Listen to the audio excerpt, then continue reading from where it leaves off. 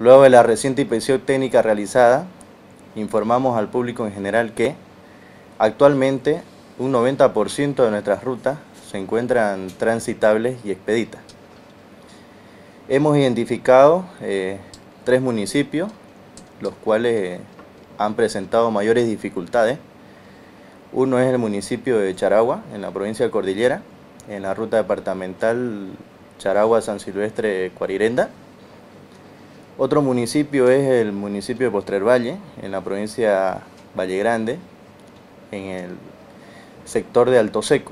Actualmente las maquinarias ya se encuentran trabajando en el lugar en los trabajos de emergencia para poder eh, atender todos los derrumbes que se han presentado en la zona.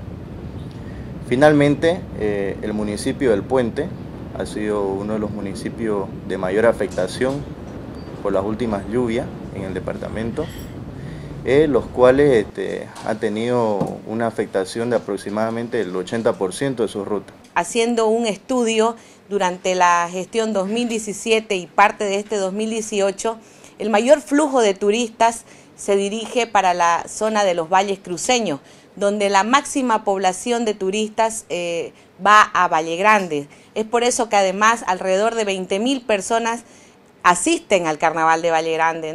Eh, otro destino turístico importantísimo donde las familias también se dirigen para pasarlas y conocer los atractivos turísticos es la Gran Chiquitanía con las misiones jesuíticas. Juntando la Chiquitanía, la Gran Chiquitanía con las misiones jesuíticas es alrededor de un 35% de la población local que asiste a carnavalear eh, a, estos, a estos lugares. El 26% se dirige a todos los valles cruceños, también eh, todo el norte integrado con Portachuelo, Montero, Buenavista, eh, eso por un lado. Por otro lado tenemos lo que es el Camiri, también el Gran Chaco boliviano, que la gente eh, va y conoce lugares turísticos como Cuevo, como Camiri, porque son parte de la ruta turística que nosotros tenemos en Santa Cruz.